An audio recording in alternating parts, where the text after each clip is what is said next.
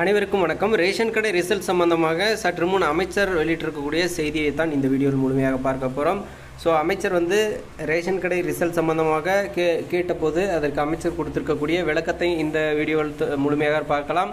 So ஐந்து மாவட்டத்துக்கு result வெளியிட்டாச்சு. மற்ற மாவட்டங்களுக்கு எப்பொழுது ரிசல்ட் வெளியிடுங்க? வெளியே என்ன தாமதம்? ஏன் நிறுத்தி வச்சிருக்கீங்க? அப்படின்ற செய்தியாளர் கேள்விக்கு அவர் கூறிய பதில்கள் என்ன அப்படின்னாக்க நாம் வந்து நீதிமன்றத்திலே வந்து கால அவகாசம் வாங்கியிருக்கோம். ஆறு மாதம் வரையும் டைம் இருக்குது கால அவகாசம் ஆனால் அது காரணம் அல்ல தற்போது வந்து ரேஷன் கடையில் இருக்கக்கூடிய வேலைகள் வந்து நடந்து கொண்டிருக்கிறது. இந்த பணியிடங்களை நியமிப்பதில் பொறுத்த வரைக்கும் சில ப்ரொசீஜர்ஸ் இருக்குது அந்த ப்ரொசீஜர் படி தான் பண்ண முடியும். அதுக்கு கொஞ்சம் லேட் ஆகும். ஆனால் அந்த அளவுக்கு காலதாமதம் ஆகுது. விரைவில் வந்து நியமிக்கப்படும் அப்படின்ற பதில்களை சொல்லியிருக்காரு. ஸோ இந்த பதில்கள் நீங்கள் வந்துட்டு இந்த கேட்ட உடனே விரைவில் அப்படின்னு ஒரு மாதம் ரெண்டு மாதம் ஆகுமான்ற மாதிரியெல்லாம் நினைக்க தேவையில்லை. ஆறு மாத கால அவகாசம் கொடுத்துருக்காங்க.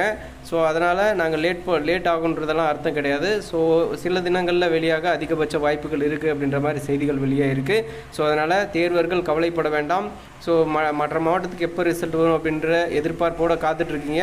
உங்களுடைய ரிசல்ட்டை வந்து நீங்கள் ஓரிரு தினங்களில் அஃபிஷியல் வெப்சைட்டில் எதிர்பார்க்கலாம். அமைச்சர் சொல்லிய பதில்களுடைய விளக்கம் இதுதான். அதுதான் அப்டேட்டு ஸோ ஆறு மாத டைம் இருக்குது இப்பயே பண்ணணுன்ற அவசியம் இல்லை பட் ப்ரொ ப்ரொசீஜர்ஸ் இருக்குது அதன்படி வெளியிடுவதற்கு கொஞ்சம் காலதாமதம் ஆகும் அப்படின்னு சொல்கிறது ஒரு வாரம் ஓரிரு தினங்கள் அது போல தான் எடுத்துக்கணும் நம்ம.